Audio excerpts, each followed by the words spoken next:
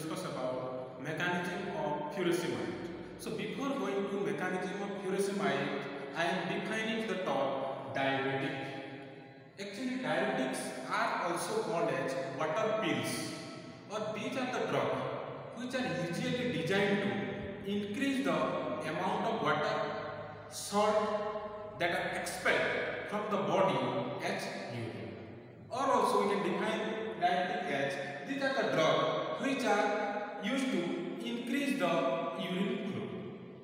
So next come to the mechanism of action of this diuretic furosemide.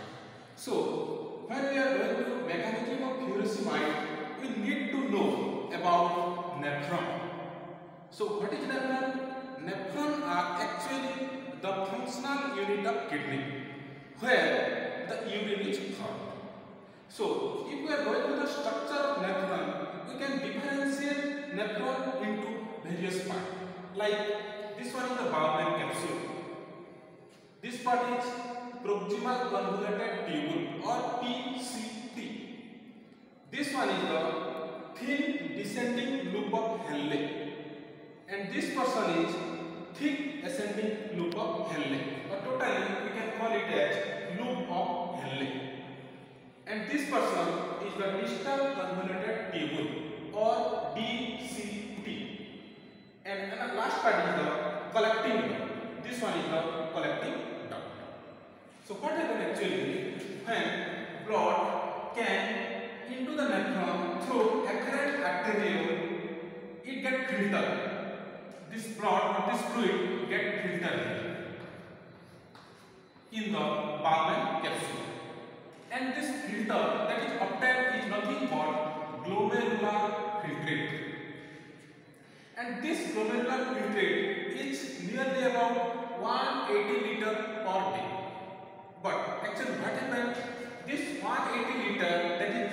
Filter and what we call the glomerular filtrate is re-absorbed into the blood.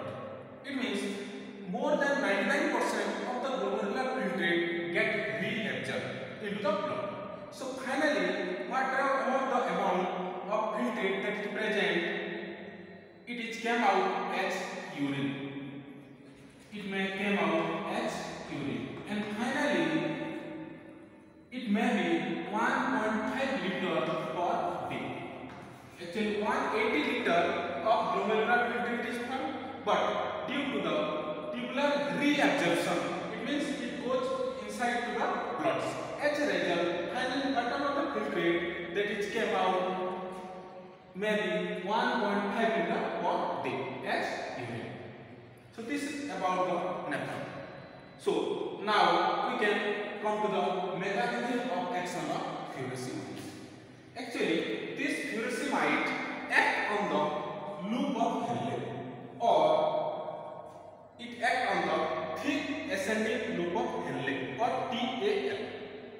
So this furosemide is called as loop diuretic. As it act on the thick ascending loop of Henle, we have to go clearly about this thick ascending loop of Henle. Actually, the thick ascending loop of Henle is consist of columnar epithelial cell like this. Columnar epithelial cells are there. And for easy understanding, I just took one columnar epithelial cell as like this. So, in this columnar epithelial cell, this side is the luminal membrane. Here, this side is the luminal membrane. And the other side, opposite to this luminal, uh, luminal membrane, is nothing but the basolateral membrane. In this luminal membrane, what happened? Some channels are there. In this side, some channels are there. Like your sodium, potassium, chloride co-transporter. So here I represented here as sodium A plus 2 Cl minus co-transporter is there. Channel is there in the luminal side. So what happened when we are giving the furosemide? When we are giving furosemide, actually what happened? It bind with the chloride binding site of the this sodium potassium chloride co-transporter. When it binds with the this channel sodium K plus 2 Cl minus co-transporter, it inhibits this channel. As a result, whatever the electrolyte that is present, that is sodium, chloride, potassium that is present in the luminal site, unable to move from this luminal site to the basolateral site. It means the pathway of this sodium, chloride, potassium is blocked due to this furosemide. As a result, the concentration of these ions in the luminal site or in, in this region, in this region, the concentration of this electrolyte may increase.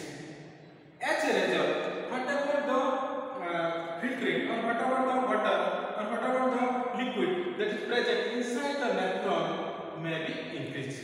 It means the volume of fluid that is present inside the nephron will increases.